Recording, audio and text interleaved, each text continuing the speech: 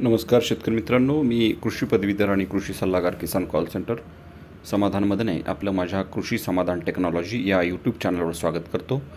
शेतकरी मित्रांनो आजच्या व्हिडिओच्या माध्यमातून आपण बाराबत्ती सोळा या खताविषयी सविस्तर माहिती घेणार आहोत.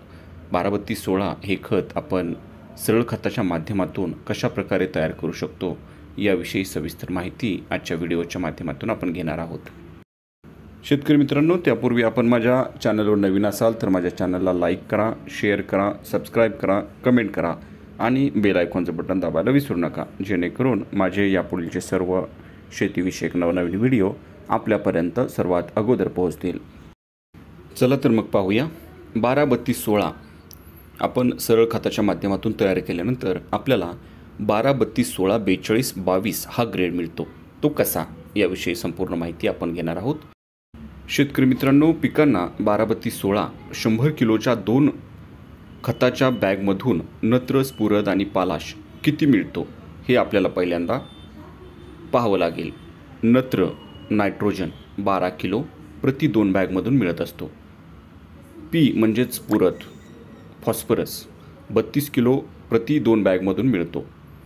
के म्हणजेच पालाश पोटॅश सोळा किलो प्रति दोन बॅगमधून मिळत असतो. त्याचप्रमाणे पिकांना बारा बत्तीस सोळा पन्नास किलोच्या एका खताच्या बॅगमधून नत्र स्फुरद आणि पालाश किती मिळतो हे सुद्धा आपल्या शेतकरी मित्रांना माहिती पाहिजे. नत्र नायट्रोजन सहा किलो प्रति एका बॅगमधून मिळत असतो.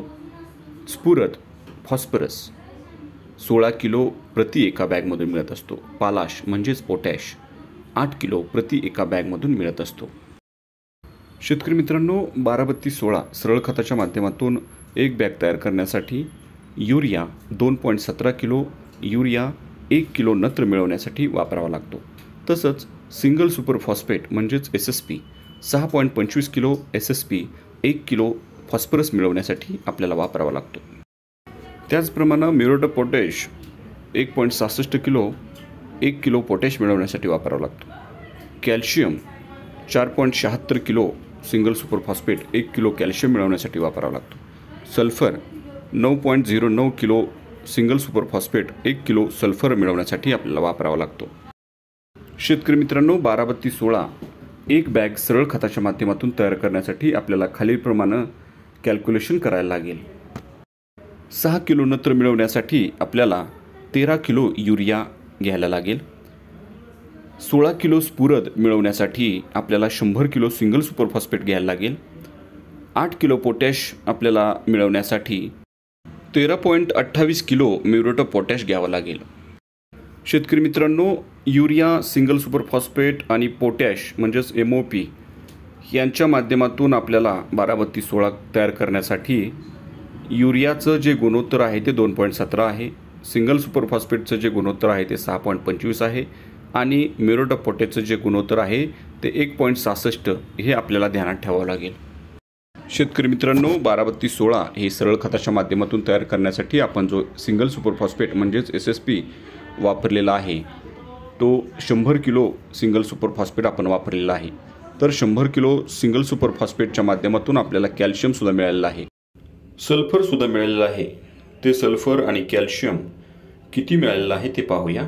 एकवीस किलो कॅल्शियम आणि अकरा किलो सल्फर मिळालेला आहे.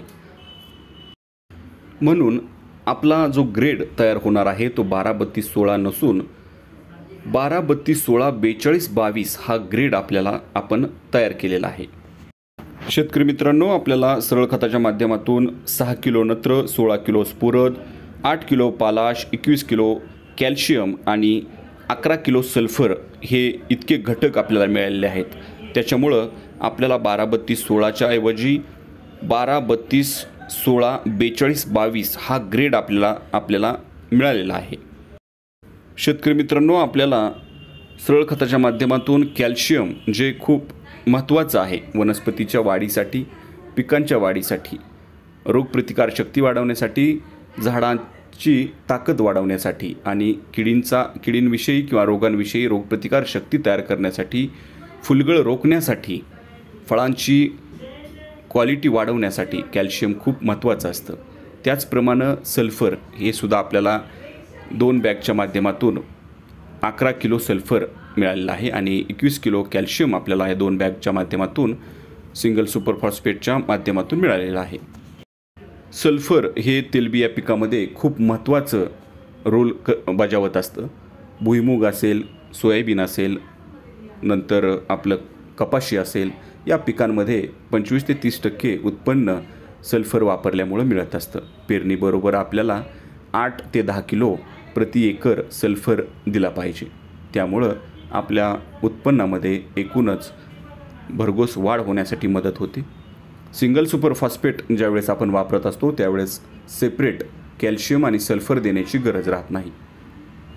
माझा हा व्हिडिओ आपल्याला कसा वाटला त्याबद्दल नक्की कमेंट करा. लाईक करा शेअर करा सबस्क्राईब करा. जेणेकरून माझे यापुढीलचे सर्व शेतीविषयक नवनवीन व्हिडिओ आपल्यापर्यंत मिळत राहतील.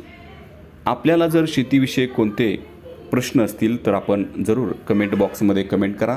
मी आपल्या प्रश्नांना सविस्तर उत्तर देण्याचा प्रयत्न करेन. शेतकरी मित्रांनो बारा बत्तीस सोळा जसं आपण सरळ खताच्या माध्यमातून तयार केलं कसं करायचं ते पाहिलेलं आहे.